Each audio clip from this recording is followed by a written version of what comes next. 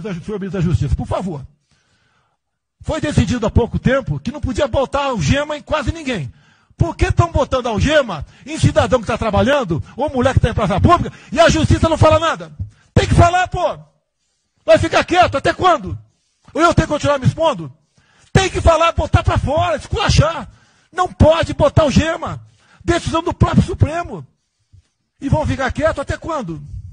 Ficar humilhando o nosso povo. Porque isso está crescendo. O pessoal fica apontando para mim, votei em você para você fazer alguma coisa. Votei em você para você tomar decisões, para você brigar. E é verdade. Eu estou me lixando com a reeleição.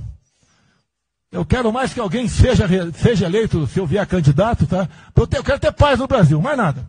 Porque se for a esquerda, eu e uma porrada de vocês aqui tem que sair do Brasil, que vão ser presos. E eu tenho certeza que vão me condenar por homofobia. Oito anos por homofobia. Daí inventam o racismo, como inventaram agora pro Von Traub. Desculpa, desculpa bafo. Puta que eu pariu. O Von Traub pode ter falado a maior merda do mundo, mas racista? Vamos ter que reagir, pessoal. É outra briga. Tem que ser um governo com, com altivez.